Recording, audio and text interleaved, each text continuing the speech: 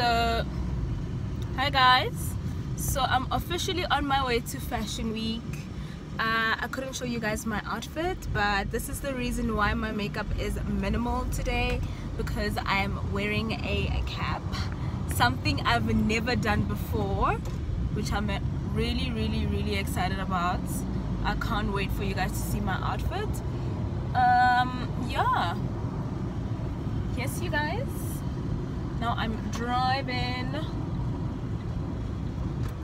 Wow i hope like we don't get stuck in traffic because it's you know afternoon time and Sandton is a whole other vibe. But i really hope not. So fashion week it is. Chat to you guys soon